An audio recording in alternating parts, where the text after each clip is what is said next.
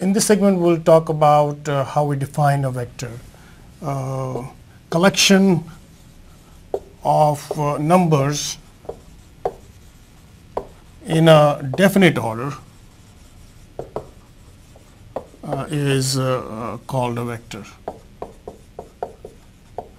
So if we have n numbers, then uh, we call it, uh, then it will be an n-dimensional vector. Then it is called an n-dimensional uh, vector. So let's look at an example uh, uh, in terms of uh, symbols. So let's suppose we, somebody says, hey, I've got A vector, a vector A, and what we are denoting it by is by an arrow on the top.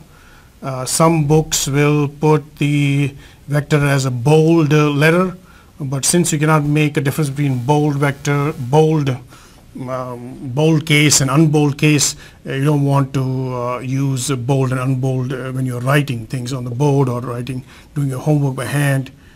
So we're going to use arrows throughout this chapter. So let's suppose we have n entries here. So we've got n entries right here.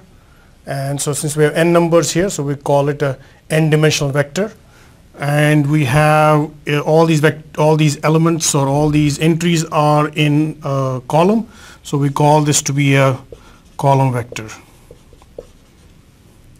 uh, you can write uh, these uh, elements in a row also so if they are given a row so let's suppose b is equal to b1 b2 uh, all the way up to b sub n minus 1 b sub n so then this is a row vector